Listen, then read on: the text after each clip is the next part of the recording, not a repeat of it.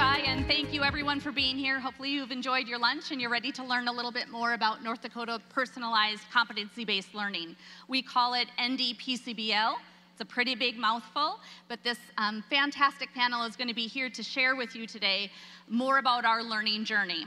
Before um, I get into that, I'll explain a bit that PCBL or NDPCBL is provided and supported by KnowledgeWorks. KnowledgeWorks is an outside foundation, a nonprofit, who came to the state of North Dakota for an opportunity for a multi-state, multi-partner approach to supporting schools and districts in an educational journey. This is a five-year commitment that without our partners at KnowledgeWorks, as well as the external partners they bring together, these fine folks, minus the Northern Cass Public School District, who wasn't able to be here with us today, and the Bush Foundation, who was able to bring funding to have this really gain momentum in North Dakota. All of those partners come together to really help these schools and districts on that trajectory of personalized learning. So thank you all for being here. And um, my first question is to you, Dr. Beth Slette. What is PCBL to you in West Fargo? And that is a loaded question. We have spent the last year really as a team of 25-ish um, uh, administrators trying to determine what it actually is. Um, and what we've determined is it doesn't come in a box, and what it is in West Fargo is very different than what it is in the other four districts. It is um, the support that we are getting is really helping us take the idea of um, personalizing learning based on our state standards and making it our own in our own district with our own resources. So it's adding voice and choice to our guaranteed and viable curriculum. We've identified our proficiency scales and our scope and sequence for the work, and really what is tight in our curriculum to ensure that every child has equal access to the learning that they deserve, and it's not based on the teacher they get, the school they attend, the neighborhood they live in. That we have pieces that ensure that every child is getting their right to that, that guaranteed and viable curriculum, but adding the voice and choice and the differentiation to allow students to explore their passions, to work at the levels that they are at and to achieve their highest dreams, regardless of the grade they've been assigned or the interventions that they need. So that's what it means to us. Uh, we also define what it didn't mean to us in West Fargo. It does not mean that a child's on a technology device for the majority of their day. It means that they are engaged with other students, participating in activities, and solving real life problems. So, in our vision, there is noise, there's relationships, and there's um, collaboration and learning amongst the students. Thank you. Um, Dr. Hetletved, can you tell us a bit about why you believe PCBL or NDPCBL was the right fit for your learning community? I think it was the right fit for our learning community, but it's also the right fit for education as a whole. Um, for, for us, we are the North Dakota Youth Correctional Center, and so we're known as Marmot Schools, and our students are coming from all the districts, right? And so beyond the why, it needs to be the what for. And so the students that are coming to us are coming to us on lots of varied stories, lots of varied pieces, as you described too, and they can't fit in the square peg.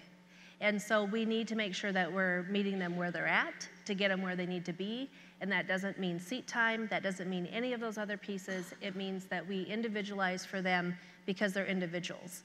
And so, with them not having this as their plan of the chapter that they're writing currently within our stay, um, it is our duty as educators serving young humans to be our community people that we meet them in this way. That is our why.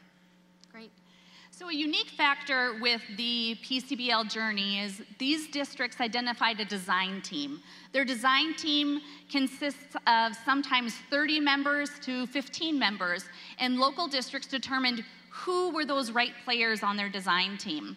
So, I'd like for Oakes and New Rockford Sheyenne to share a little bit about their design team and the uniquenesses of it.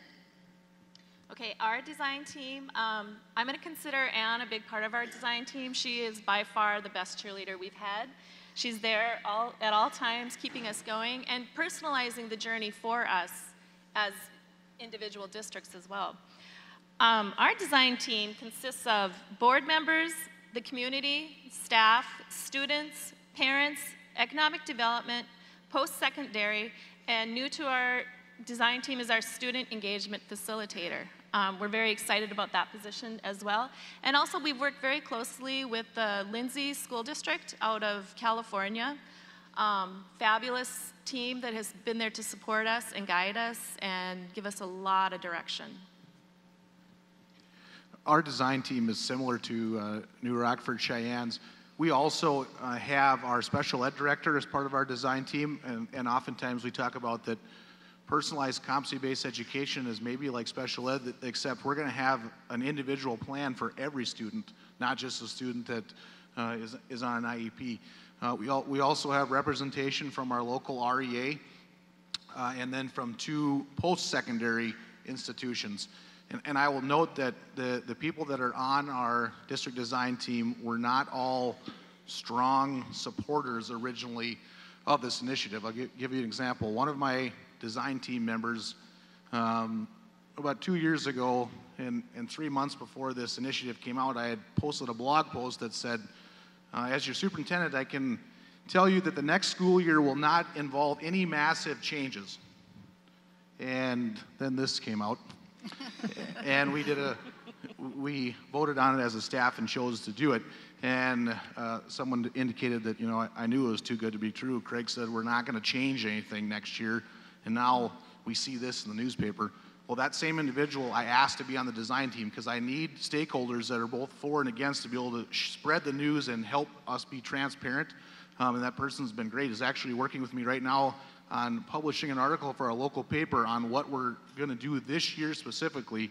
So that's been huge. It, not everyone's in favor, um, and sometimes those are the people that we need to make sure fully understand what it is that we're doing so that there's not misinformation floating out there. Okay, thanks. Our convening structure, the structure of this design element, is to bring the school districts together on a quarterly basis throughout the school year. And then, in addition, they've received intensive supports in their local school communities over the summer. Many of the school districts have this as a volunteer option. Parent or educators are not required to attend. I know right now there's over mm-hmm. 200 educators getting together in West Fargo to dive deeper into some elements that they've explored during personal or during the NDPCBL PCBL work. My question to any of the design team members what can you speak about your priorities that you've determined through this first year of visioning, and what are some of the actions that you're going to work towards as a learning community over the next year? I can jump in. Uh, so we do have 200 teachers being trained in depth of knowledge, for example, today, um, and other pieces of it. But we're really working towards, at the secondary level, defining what we want students to know and be able to do, develop the levels of proficiencies that we are striving for, and to ve- develop scope and sequence. Um, we have a standards-based report, report card K-8, so much of that work is done for K-8. So we're really looking to explore um, the depth of knowledge and to push forward on um, adding voice and choice into our guaranteed and viable curriculum so that it's um, to allow for that flexibility and, and teaching teachers how to do that. Thanks. That's West Fargo. Penny, could you speak a little bit about your profile of a learner at Marmot High School? Sure. Um, in addition to that, I would piggyback that we are also taking a really deep dive into assessment because we have a finite length of stay. And so we need to be able to really define both where they're coming from and what they know, but also the best way we can get them to where they can be for us before they take off back into their home district or wherever their next stay is going to be. And so our portrait of a graduate um, is still a work in process. And I think that that is probably the biggest message of this whole initiative is that it's a living process. Um, our students change every year, right? And so for us, we might get new students in every week and somebody on a new ro- on one teacher's new roster every Monday. And so to know that that is the piece. So our our graduate uh, portrait right now, I would say, is shaping up nicely, but will probably be a to be continued as we move forward. Okay, thank you. How about engagement? how does engagement work within the cohort structure? That could be engagement of your educators, engagement of your learners, or engagement of your community members. Does anyone want to speak about the engagement factor? I'll start. Um, our why started with our student engagement surveys. When we took a good hard look at them, we sadly found out many of our students are not engaged and they're not enjoying school. They're compliant, they're, they're, they're good kids, they're doing what is what they're supposed to do. However, they didn't find it as enjoyable and as a rewarding experience and, and didn't see the value in it that we hoped that they would see. So there started our why. Um, in addition to that, as this year, looking back on the year, which was, which was challenging at times, is that a good word? Challenging at times because you just don't know where you're really going. I mean, these people have been fantastic laying out the framework for us, and we fill it in, and they're giving us the guidelines. This is what we need to do next. Then, you're, then we do this, then we do that.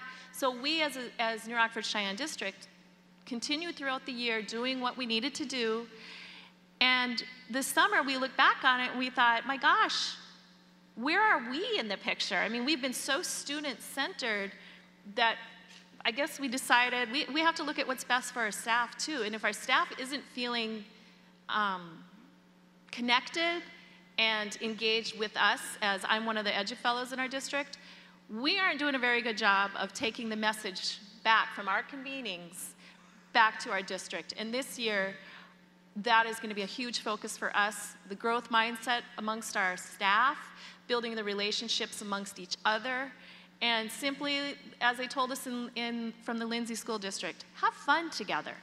Have fun away from school together. And that's something in our district we've somewhat shied away from. And so we, we tend, we're planning on building those relationships as well as all that with our students because if we can't start at the top, I mean, you have to start at the top. You can't start at the bottom with the students and expect all this to happen when we as adults aren't taking care of ourselves first. With engagement, one thing that I think is different for us, and it's even a struggle for me, you know, in, in my entire life of, uh, of being an educator and going through the public system, I was used to being told what it is I need to do, and then also being told, here's how you do it. Now just go and repeat that and so when we're going through this process, um, they continually are telling us, we're not going to tell you what you need to do in your own district. It's going to be dependent upon what your learners' uh, needs are, what your community you know, wants. Um, and so, for example, the last two days we had professional development on learner agency and family engagement. And so the morning in, in involved uh, going through what that was, uh, what it entailed. The afternoons involved our staff coming up with ideas and plans on how they're going to implement that uh, and how they're engaged in uh, making this happen. And th- that engagement piece is, is a struggle because they, we all, me too, said, just show me and then I'll repeat it. I, I don't want to have to come up with it myself, but I think when having us engaged in it, that's what we're hoping our teachers are going to do with our students in the classroom as well. And so we need to replicate it even though it's difficult. Thanks. I think that is something that we've all learned through this process. So often in education, we're trained on something. We purchase Read 180, and we're trained how to implement it and what tools to pull out at what times. And this journey has not been a training. This journey has been a deep dive into what our communities want and need, what our learners want and need, what we believe is a vision for our school communities. So um, we've really spent this first year solidifying that vision and then activating how do we move this forward into practice within our schools and in our districts. A question that I would have to each of you or to any of you would be Make it a drink. um, if you could dispel a myth or the myths of NDPCBL, what myths would you want to dispel?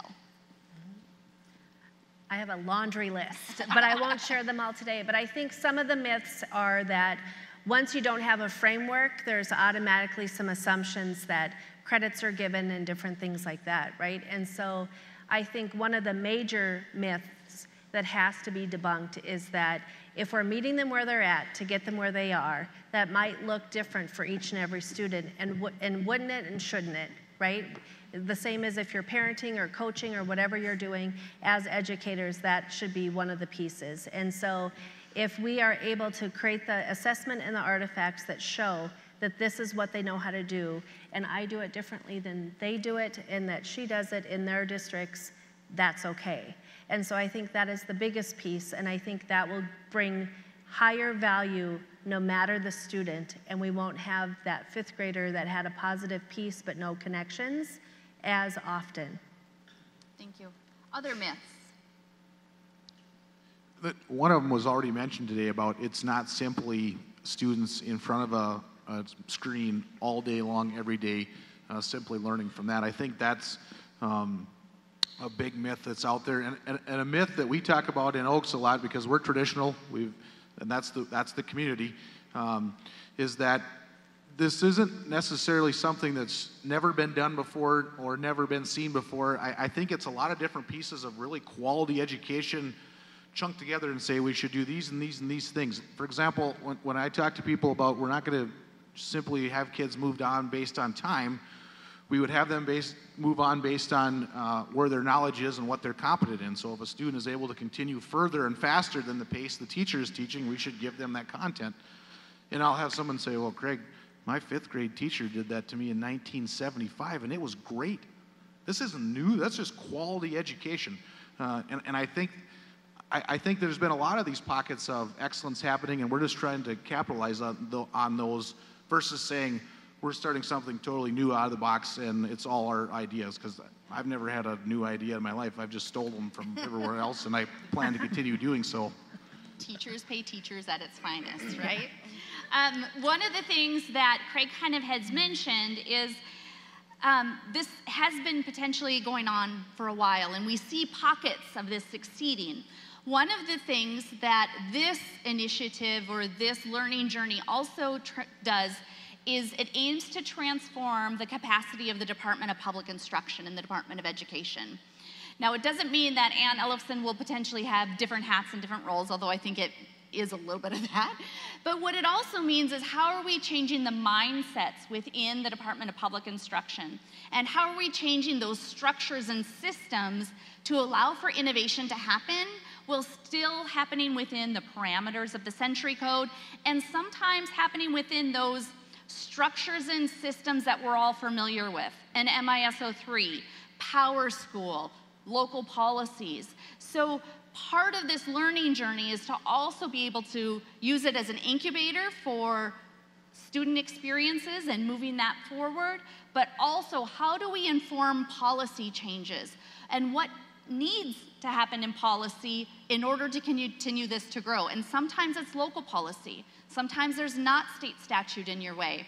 So that's another element that we really um, have embraced through this learning journey. Last question for each of you to answer.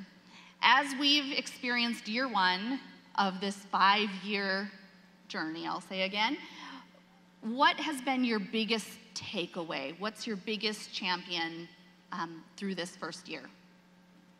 I would just say that there's not one way that this gets rolled out. And I, I really came into it, kept waiting for you to tell us what the next step was. And we spent the whole year, it was a struggle. It was a struggle. Um, but that we are moving forward and that it can be scaled, even with 11,000 students and it can each, um, even building, it can have different flavors, but the pieces that are guaranteed, we can feel great about knowing that our students are getting that engagement, they're getting opportunities to explore their passions, hopefully even exploring possible career outcomes, um, hopefully getting opportunities to engage with the community because we're taking down the walls that confine us from being able to do that and it will take time, but it will get done. That's my takeaway. Mm-hmm. I feel uh, beyond the why, and the discussion of the why was so rich that the takeaway and probably one of the first rewards is that now we're starting to ask how. Um, but beyond that, I think one of the other takeaways is that blazing a trail, even though the trail's been blazed multiple times before, but now it's in a different way without the framework, um, it's also a good acknowledgement that that makes our educators vulnerable. And so we have to make it okay that some things are not going to work well. And we will learn first and we'll fix second as we begin the policy pieces and those, those things. So I think my takeaway was truly making the vulnerability safe. My takeaway is um, obviously it's time for a change in education. Our kids deserve it. Um, I think what we've been doing, it's, it's almost like you're creating a new lifestyle. It's challenging, it's a, it's, a, it's a journey, but a journey well worth, I don't know if we're going to complete it, but a journey well worth moving forward on. Um, the framework that we've been provided has been fantastic, and the guidance and the direction is great. We're not there yet and that's okay and we're all at different places and i think we have to just be okay with that it's, but it's definitely a wonderful journey my takeaway, and it, came just about a month ago at a conference in Rapid City, uh, is that I need to be able to encourage my staff to, to try some of these things and, and go and be willing and able to fail. Obviously, not fail over and over the same on the same thing, but not sit back and wait until we think we have all the answers and, and know everything and it's going to work perfect because we'll never get any movement in any anything happening. And we have certain, I have certain staff members that are saying, "Come on, Kraig, let's go. You've been talking about this for two years. How come we're not doing more?" Versus the other end of the staff that need more time and, and want to let that uh, the process play out where they're more comfortable. Um, so just the last two days at PD, I started with, "I give you permission and expect you to fail."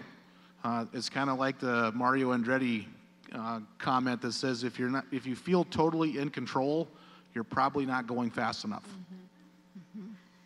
Well, again, thank you all panelists for being here. If you do have questions, feel free to contact me at the Department of Public Instruction as well as any of my other Team ND members. I also am inviting you to contact any of the members on the panel to learn more about the process, learn more about the uniquenesses happening within their schools and districts, and how they're meeting those unique needs of students. But we look forward to sharing with you throughout our five-year journey and um, want to keep celebrating innovation that's happening in all ways, shapes, and forms across North Dakota. So thank you.